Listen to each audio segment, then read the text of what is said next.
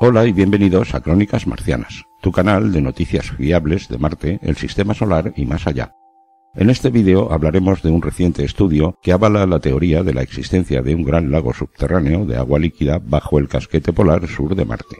A continuación daremos un breve repaso a las recientes actividades de los rovers Perseverance y Curiosity en superficie. Seguidamente veremos las imágenes que la nave Juno de la NASA ha tomado de la luna Europa de Júpiter durante su primer sobrevuelo cercano. Y como es habitual, cerraremos este número con una nueva selección de imágenes orbitales de Marte. Al final del vídeo podrás acceder a los temas que hemos publicado durante esta semana por si te has perdido alguno. Mucha salud, un fuerte abrazo para todos y empezamos. En 2018, el orbitador Max Express de la Agencia Espacial Europea descubrió que la capa de hielo que cubre el polo sur de Marte aumentaba y disminuía de forma intermitente, lo que sugirió la presencia de agua líquida debajo. Pero no todos los científicos estaban convencidos, ya que Marte es extremadamente frío y para que exista agua subglacial en el planeta en forma líquida tendría que haber una fuente de calor como la energía geotérmica. También se pensó que la extraña señal de radar medida por la nave espacial podría provenir de algún tipo de material seco. En la actualidad, un equipo internacional de científicos dirigidos por investigadores de la Universidad de Cambridge ha investigado nuevamente la capa de hielo utilizando una técnica diferente y ha concluido que la presencia de agua líquida es, de hecho, la explicación más probable. Usando mediciones de altímetro láser, los investigadores han detectado patrones sutiles de diferencias de altura que coinciden con los modelos de computadora sobre cómo un cuerpo de agua bajo una capa de hielo afectaría a su superficie.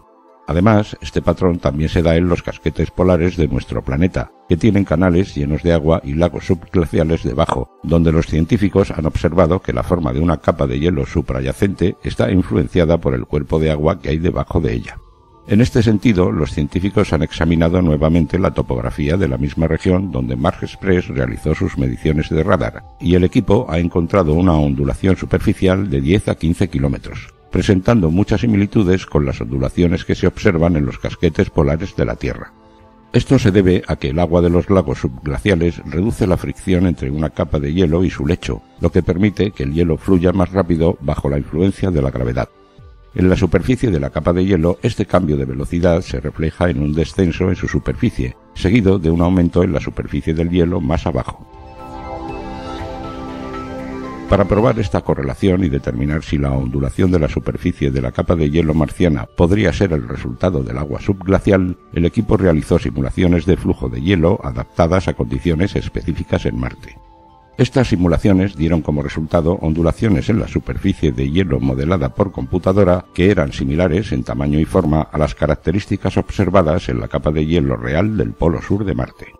Una combinación de los resultados de esta simulación, las nuevas observaciones topográficas de la capa de hielo y los resultados de radar de 2018 apuntan de nuevo a la existencia de agua subglacial debajo de la capa de hielo del polo sur, con implicaciones más profundas para la geología del planeta rojo.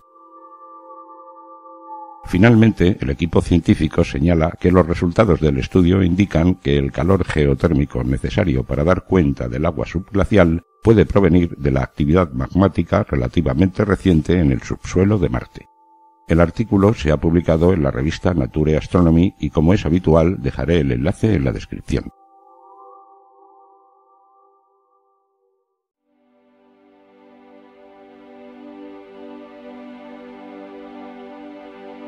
Esta semana, el equipo del rover Perseverance intentó la abrasión del objeto llamado Cliniac, que forma parte del afloramiento conocido como Lago Encantado, un objetivo intrigante de rocas potencialmente finas en la base del delta del cráter Jezero.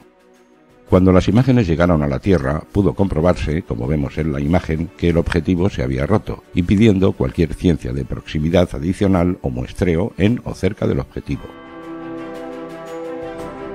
Tan pronto como se supo que el intento de abrasión resultó fallido, los científicos e ingenieros de la misión eligieron un objetivo de abrasión alternativo para los siguientes soles, además de investigar qué información se podría extraer de la superficie rocosa fracturada sobre su cohesión y su resistencia.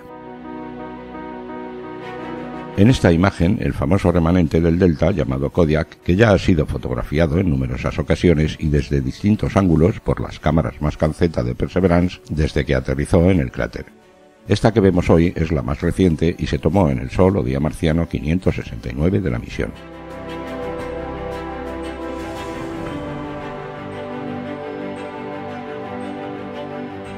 Ahora estamos viendo la secuencia del vuelo número 33 del helicóptero Ingenuity, en la que aparece un objeto extraño adherido a una de sus patas a la derecha, que finalmente ha quedado a la deriva desconociéndose aún cuál es su origen.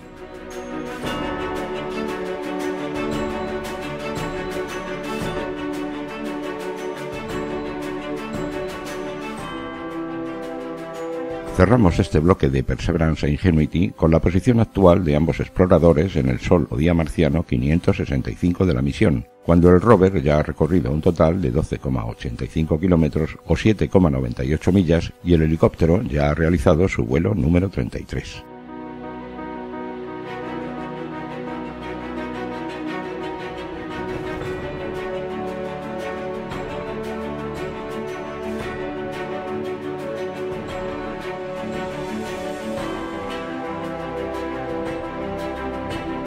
En el cráter Gale, el rover Curiosity sigue evolucionando penosamente entre peligrosas rocas que están limitando significativamente sus actividades y sus desplazamientos. En esta ocasión, y después de un corto recorrido, el equipo estacionó al rover frente a una roca finamente estratificada que está salpicada de pequeños nódulos, pero desafortunadamente pronto se descubrió que no era posible colocar el brazo de manera segura en contacto directo con la roca, ya que las ruedas de Curiosity estaban asentadas de manera precaria sobre otras rocas. No obstante, la lupa Mali en el extremo del brazo pudo acercarse y recolectar imágenes de la roca desde una distancia de 5 centímetros. Como vemos, la roca está plagada de nódulos que nos recuerdan a las conchas de los caracoles, y que se trata de formaciones minerales más resistentes a la erosión del agua, el viento y la arena. Y es lo suficientemente interesante para los científicos como para intentar reubicar el rover en una configuración más estable con la esperanza de poder rozar la roca y recopilar datos ya el próximo lunes. Otras observaciones de objetos cercanos y distantes se pueden ver en estas recientes imágenes que muestran algunos detalles y el difícil terreno que rodea a nuestro intrépido explorador.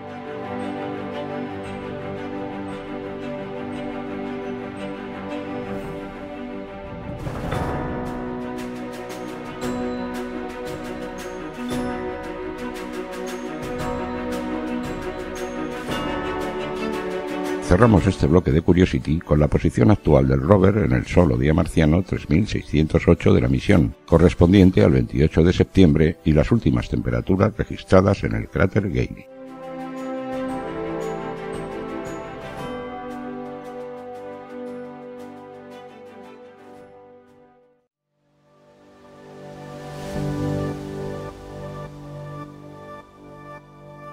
Esta que vemos es la primera imagen que ha tomado la nave espacial Juno de la NASA mientras sobrevolaba la helada luna de Júpiter, Europa.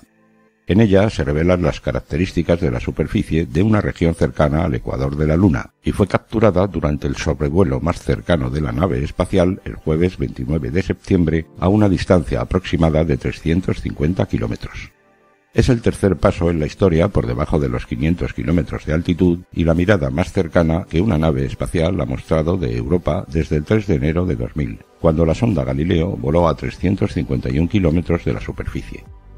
Europa es la sexta luna más grande del sistema solar. Ligeramente más pequeña que la luna de la Tierra, los científicos creen que un océano salado se encuentra debajo de una capa de hielo de kilómetros de espesor, lo que genera preguntas sobre las posibles condiciones capaces de albergar vida debajo de la superficie de esta luna. Las características del terreno accidentado se ven fácilmente, incluidos los bloques altos que proyectan sombras, mientras que las crestas y valles brillantes y oscuros se curvan a lo largo de la superficie. El hoyo oblongo que vemos a la derecha podría ser un cráter de impacto degradado. Durante el sobrevuelo, la misión recopiló lo que serán algunas de las imágenes de mayor resolución de la Luna y obtuvo datos valiosos sobre la estructura de la capa de hielo de Europa, el interior, la composición de la superficie, la ionosfera de la Luna y su interacción con la magnetosfera de Júpiter.